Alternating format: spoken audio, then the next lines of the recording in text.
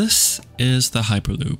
First brought to mass public attention in 2012, Hyperloop has made waves in the transportation field. It promises to provide an alternative mode of transportation for intercity trips.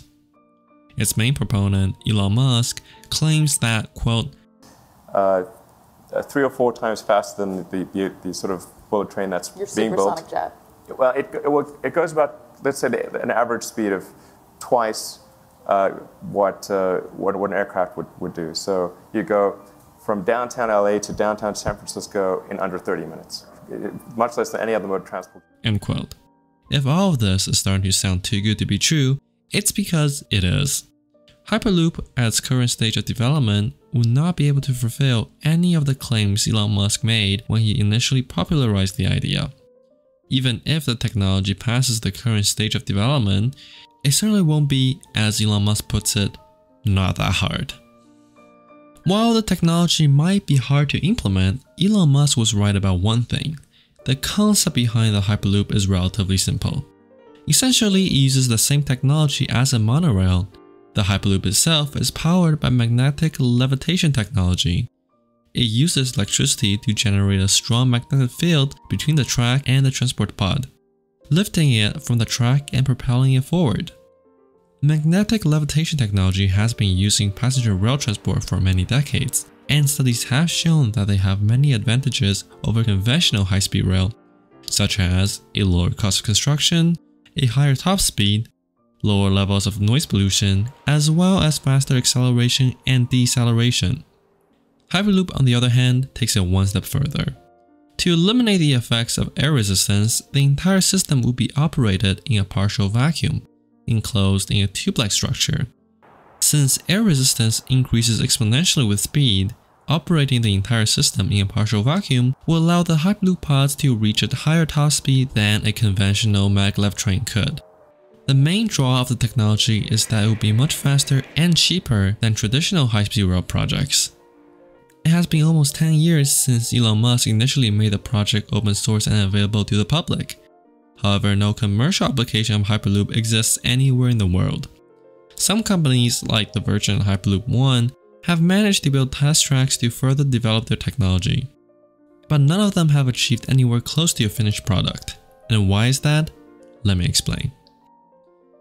Hyperloop faces a major routing problem.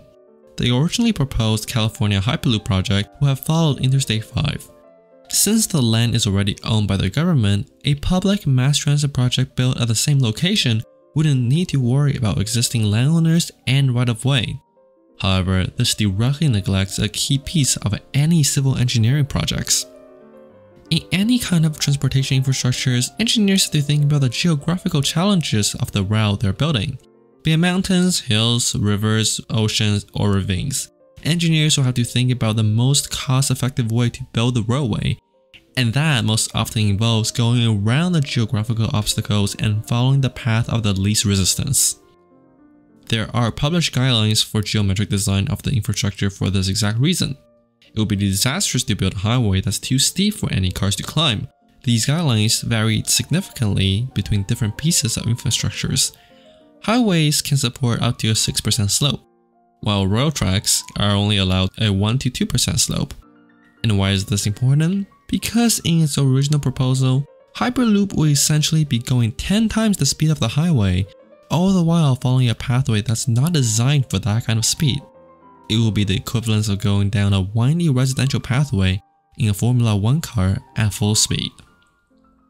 According to its original design, the Hyperloop will essentially be a 30 minute roller coaster ride. While this might seem fun for some, it will not be an acceptable form of transportation for most. Now, there are two main ways to solve this problem, and neither solution will fulfill all the promises Elon Musk made initially. The first solution is to forego most of the geometric design of the project and build in a mostly straight line from start to finish. This will allow for the Hyperloop to control its acceleration and fulfill its promise of ultra high-speed transit between cities. However, doing so will not fulfill the other key feature of Hyperloop, the relative cheap construction cost. Going in a straight line means ignoring most geographical features. Whenever the project encounters a lake, it cannot just go around it, as to build a bridge over it. Whenever the project encounters a hill or a mountain, it has to either blast its way through or construct a tunnel. This means that going a straight line will essentially bring the project cost to multiple billions, even trillions of dollars, making the project financially unfeasible. The other option is to follow the existing design guidelines for maglev trains. Hyperloop will be able to achieve a relative high speed of around 400 km per hour without costing an arm and a leg to construct. Doing so certainly won't allow for a 30 minute travel time between San Francisco and LA, but it will make the project financially feasible. And speaking of following design guidelines for the maglev trains, if Hyperloop were to follow the same route as a maglev train, is going to be operated at the same speed as a maglev train, why not just build a maglev train instead? And herein lies the fundamental problem with Hyperloop. It is an emerging technology that cannot disrupt its main competitor, the top speed of 1000 km per hour hasn't even been proven in testing. The closest anyone has gotten to that kind of speed is a design team from the Technical University of Munich, reaching a top speed of 363 km per hour.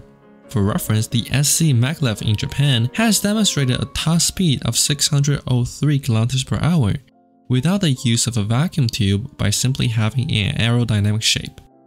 It is obvious that the Hyperloop won't be able to disrupt the existing maglev train technology quite yet. So the question then becomes, why even bother with Hyperloop? That answer lies within the man who first trumped the idea. In 2012, Elon Musk first dropped hints about a fifth mode of transport, a system that would be a crossover a Concorde and a railgun. Then in 2013, he published an early conceptual model of the Hyperloop system, but almost 10 years have passed, no commercial application of the Hyperloop has came to fruition, not even by his own company. And why is that? It is because the entire idea of the Hyperloop is built on his own personal ambitions and greed. Elon Musk is most well known for his involvement in two major companies, SpaceX and Tesla. Tesla in particular is a car company. While their push for electrification of personal vehicle has been remarkable, it is still, after all, a car company. A company that will greatly benefit if our current trend of car-dependent infrastructure were to continue. The very concept of a reliable and affordable mode of mass transit system will cause disruption in his profit margin. As such, the whole concept of the Hyperloop is to stop the high-speed rail projects in California and beyond. While this might sound like some grand conspiracy theory, Elon Musk himself practically admitted that it was all just a plan to get the high-speed rail project cancelled in California. In the end, we might not have gotten a Hyperloop, but at least we got some funny memes out of it.